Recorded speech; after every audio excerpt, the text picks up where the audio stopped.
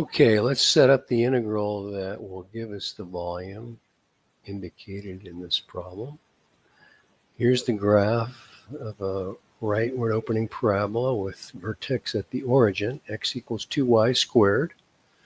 and then we have this other parabola, y squared plus 16. That plus 16 moves the vertex to the right 16 units. And we want to revolve the region between those two parabolas about the line y equals negative 17, okay, using the shell method.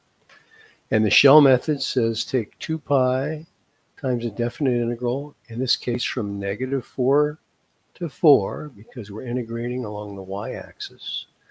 Our axis of revolution is horizontal, so our typical shell is horizontal, parallel to the axis of revolution.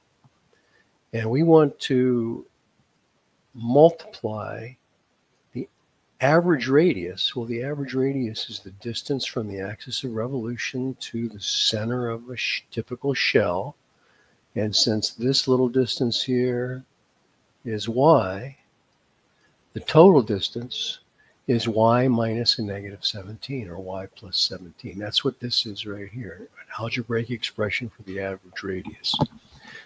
And then we want to multiply that times the height of a typical shell, which is the distance from here to here, which that's the uh, x coordinate at the right, which is y squared plus 16. That's what x equals.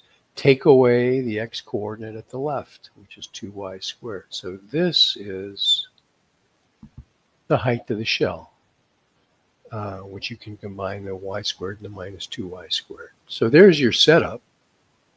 Evaluating, well, you probably want to multiply those two binomials together, get an antiderivative term by term, evaluate from negative 4 to 4, and multiply by 2 pi. And here's what happens.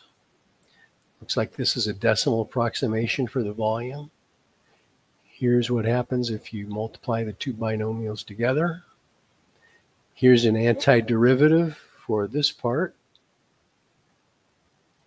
And if I evaluate that from negative 4 to 4, and leaving it as a fraction, 4,352 thirds. And if I multiply that by 2 pi, that matches our decimal approximation. So there's your exact answer right there. Okay, there you go. Hope that helped. If you have any questions, post a comment.